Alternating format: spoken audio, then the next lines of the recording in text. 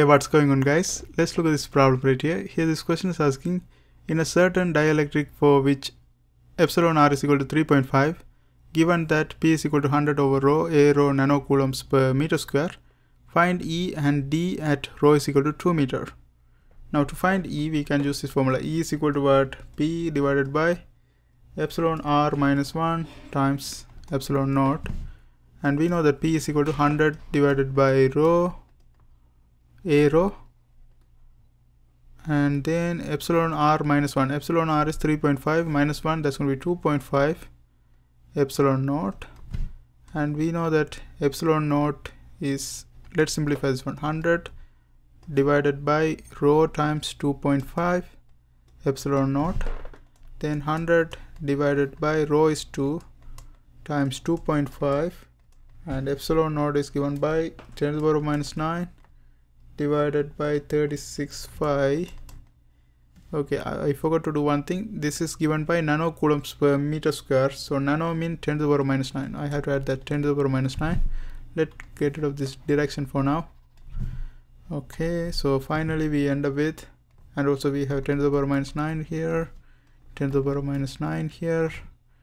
And that's going to cancel with this one. And also if we simplify this one that's going to give us 2.262 times 10 to the power of 3 a rho so this is going to be our final answer. So this is electric field. Now the next thing is we are going to calculate d value.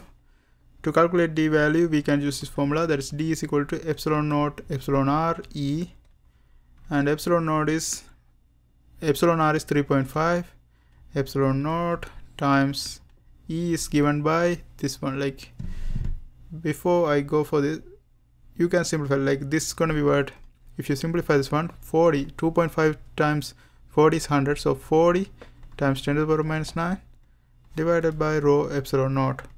I'm going to plug this one into this equation. In that way we can see whether we can simplify this one furthermore. Because you can see epsilon naught epsilon naught cancels so we, we don't have to worry about too much things right?